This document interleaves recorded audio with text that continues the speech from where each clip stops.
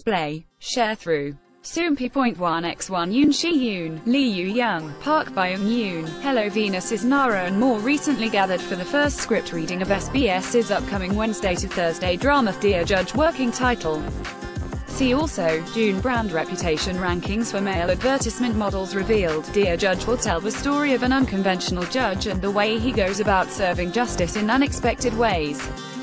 The drama will bring together screenwriter Chun Sung-il, who has been recognized for his work in both dramas and films, and producing director, PD, Boo Sung-chul. Soompi. News. English .300x 250, BTF Soompi. Mobile. English .300x 250, ATF The cast gathered recently to partake in their first script reading, with a screenwriter and PD joined by cast members Yoon Shi-yoon, Lee Yoo-young, Park Byung-eun, Nara, Sung Dong-il, Heo Sung-tae, Kwak Sun-young, Hwang Seo Seok Jeong, Kim Hye-ok, and others.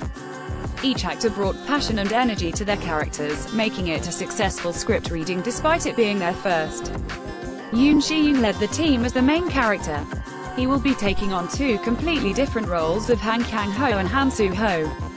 His ability to switch between the two, using his years of acting experience to alter his expressions and movements, had the staff in awe.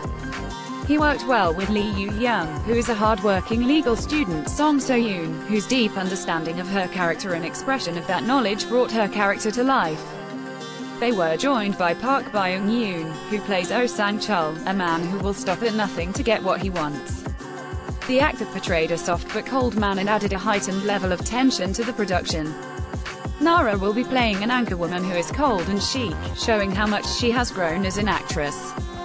The script reading was full of tears, passion, and heart as the actors put their all into their characters.